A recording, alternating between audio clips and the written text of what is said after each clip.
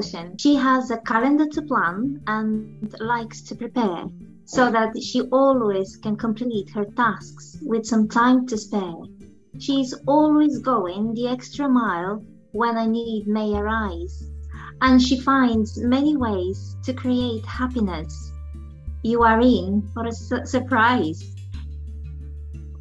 Wow. now, I think that is wonderful, Gulshen. Really, really, I think it's wonderful.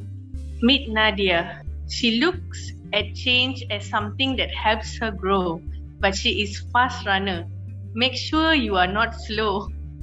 It is all about adventures and nature. When she has her children's around, it makes her think deep and there is always a treasure to be found. Her run usually ends up going an extra miles, but what makes her truly happy is getting her patients to smile. Wow. Oh, you know, that would make me cry. That's amazing. Thank you. And I'll tell you where I, I found the challenge during the last couple of years because we wear masks.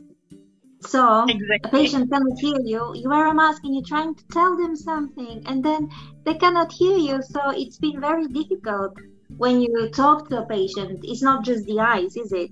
It's the whole face expression. Are you smiling or are you, are you not? When you say a word, it's a combination, isn't it? aside from our personal problems, we don't actually bring it back to our dialysis during work. We actually show patient that we are happy here with our smiling face, even though we are on mask. But then sometimes we laugh loud. We laugh aloud that uh, they know that we are actually happy. So when they see us being happy, and when we joke around with them, they tend to smile and they are happy spending their four hours here, even though they are a bit stressed at home it is important for this our profession, nursing profession, to to just also find it in yourself to to be kind to people. Are we dealing with human beings, with with people, with everybody with their own story. And I admire your dad. Is he better cook than your mom? Exactly. or probably don't want to say that. he, but then when there is, uh, there is, he only does cooking when there is family function where my uncle, my auntie all come down and then he does the cooking. But like for home, normal cooking, all he doesn't want to do. He say he doesn't do small, small cooking. He like to do big, big cookings. But when I came here, uh, my husband, he is a very good cook, and like just your dad, he's, he's I admit without the fights, he's a better cook than me. I sometimes say our patients they become like a small family. Family. You know, if, if they don't see a patient, sometimes doesn't see their somebody else, and then they're worried. Oh, where is he? Oh, are they all right? So they, they're worried about them. So they do become, and they share a lot they are they are very caring with each other and then they are they are caring with the staff here as well. Looking back if I, I went back so many years would i still choose the nursing profession? And i think i'd still go i'd still do because of the caring because of what the, the satisfaction you get from from job well done from seeing people being happy from seeing them, the, the happiness in, in their eyes, the joy.